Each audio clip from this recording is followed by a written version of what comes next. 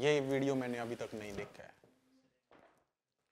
मैं तैयार हूँ इस वीडियो को देखने के लिए At this time, I will introduce the calculated use of force team that will be participating in this medical procedure. I come to United States to save my life.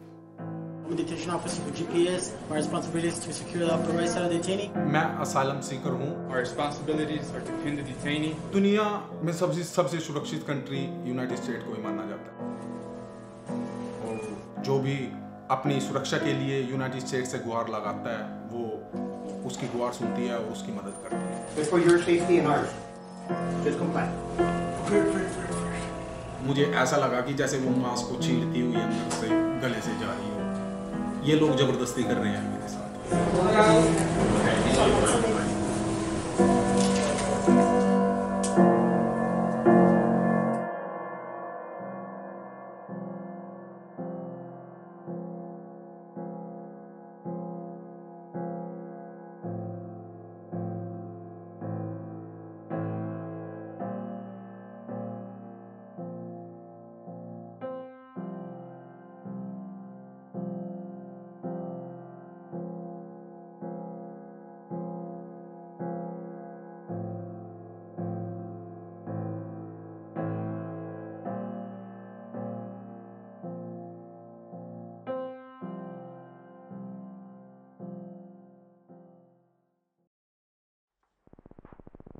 My name is AJ Kumar and I'm from India.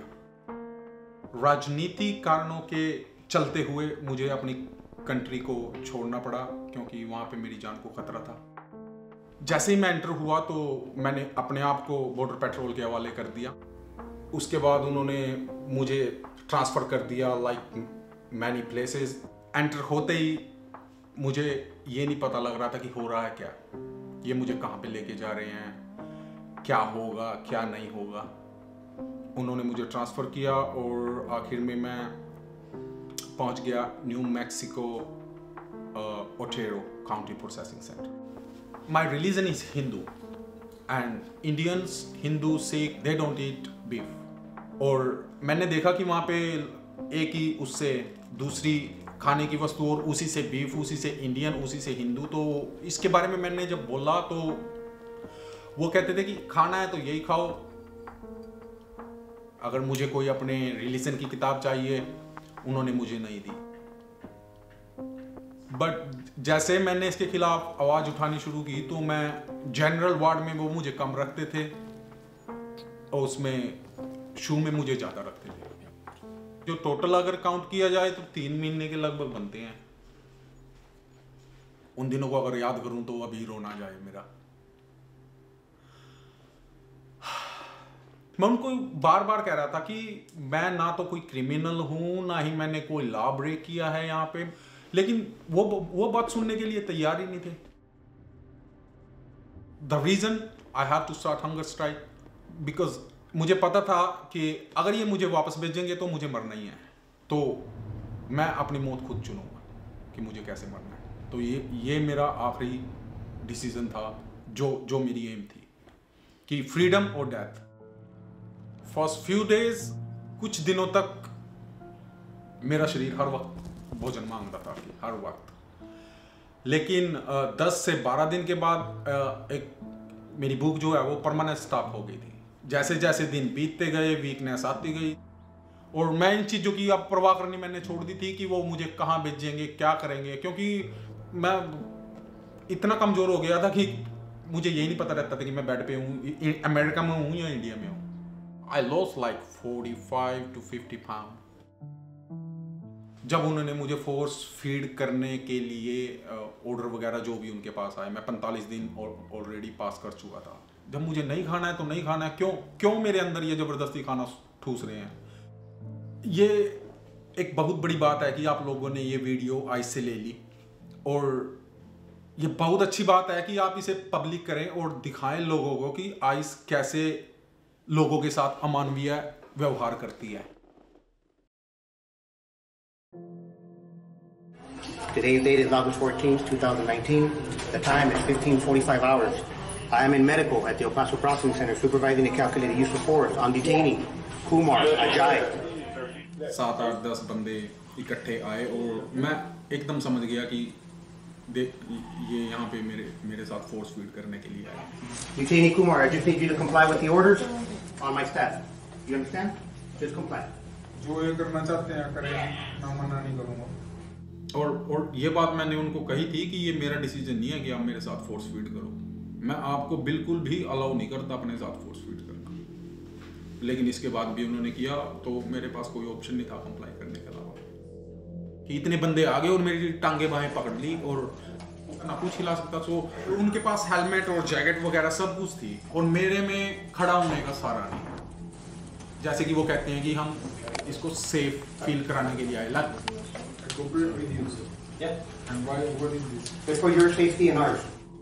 वो बेल्टों से जकड़ के safe feel करा रहे थे या मेरी टांगे बाहें पकड़ के सेफ़ फील करा रहे थे। मैं इस बात को नहीं मानता कि वो वो कहते हैं कि सेफ़ फील कराने, ये टोटली झूठ है। हंगर स्ट्राइक पर मैं और मेरे अलावा तीन लोग और थे। वो उनके सामने नहीं कर सकते थे, लेकिन वो मुझे उन सब के सामने फोर्स फ़ीड करना चाहते थे ताकि मेरी हालात को देखकर वो सब खाना खा लें।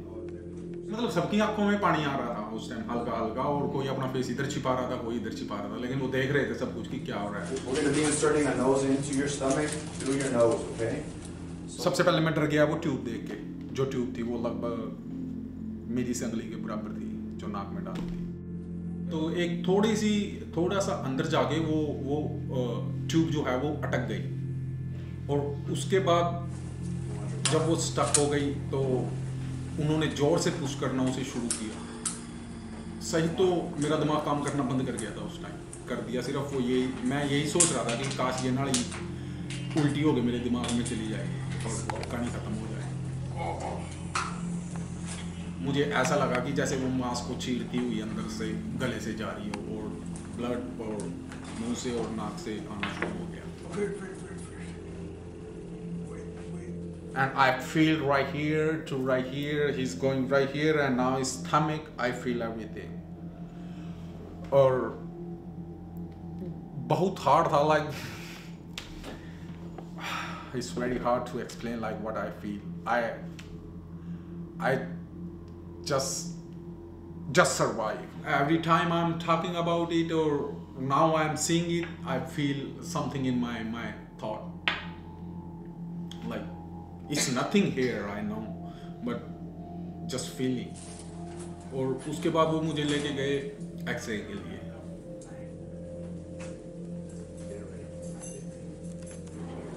तो एक्सरे करके उन्होंने कहा कि ये तुम्हारी नाली ठीक नहीं डली है और हम दोबारा डालेंगे इसको। उसके बाद जैसे बेड पे गया, उन्होंने फिर मुझे कहा हंगर स्ट्राइक स्टार्ट रखेगा या तोड़ेगा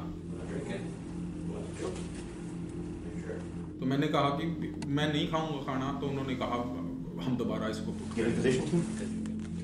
तो उन्होंने दोबारा वही प्रोसीजर दोबारा से शुरू किया। जैसे वो बेड पे उन्होंने मुझे लेटा दिया और मेरी नाली खींच के बाहर निकाल। तो हर बार जैसे भी नाली बाहर निकलती थी तो ऐसे लगता था कि पेट का साफ़ सब कुछ ही बाहर आने वाला है उस नाली के साथ। जब उन्होंने दूसरी बार ट्यूब डालनी शुरू की, निकाल दी तो वो पहले से थोड़ा सा जख्म बना चुकी थी अंदर। तो जैसे उन्होंने डालनी दूसरी बार शुरू की तो पहली बार से ज़्यादा दर्द था।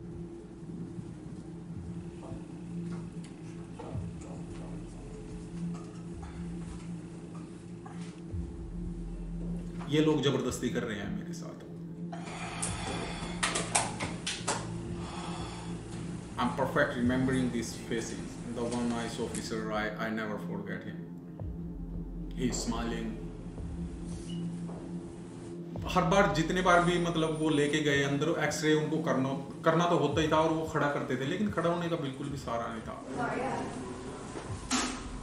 दूसरी बार भी उनका सेम ही वो था कि ट्यूब थोड़ी सी साइड हो गई है या थोड़ी सी ज़्यादा चली गई या टर्न ओवर हो गई है चाहे वो डाल रहे थे निकाल रहे थे डाल रहे थे निकाल रहे थे। फिर वो डॉक्टर कैसे जो एक नाली को सही नहीं डाल सकते?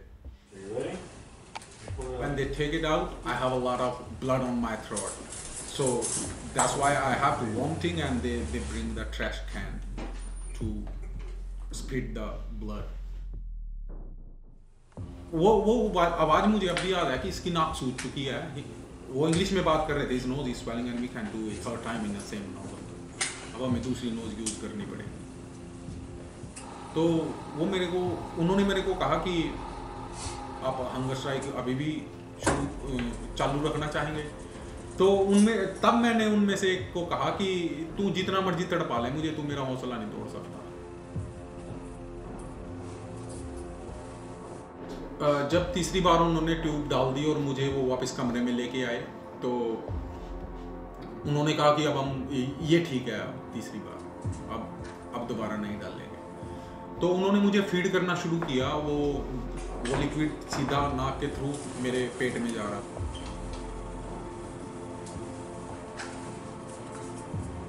जैसे ही वो डालते थे, ऐसे ही बर्निंग शुरू होगी पेट में।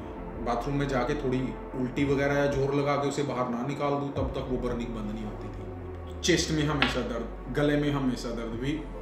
ही मुझे कम से कम 20-25 दिन तो ना मैं नाक से अच्छी तरह सांस ले सका सोना सबसे ज़्यादा दुर्लभ हो गया।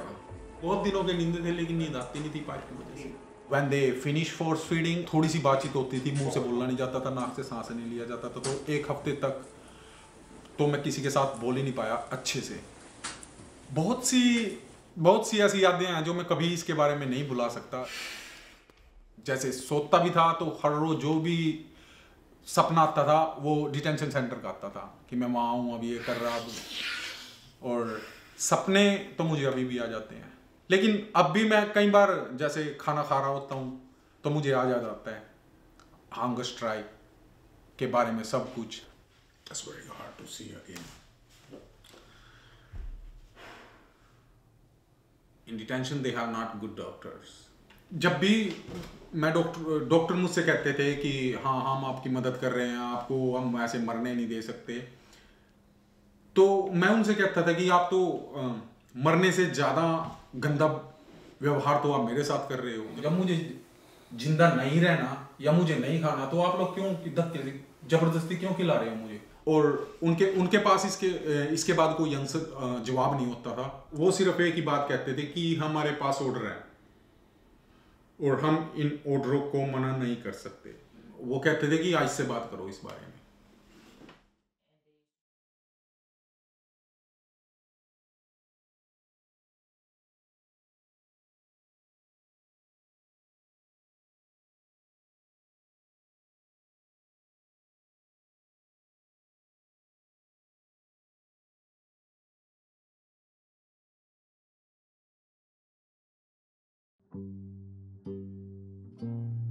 अभी मेरा केस है जो है वो कोर्ट में पेंडिंग है और मैं इंतज़ार कर रहा हूँ अपनी कोर्ट की तारीख का और डिसीज़न का।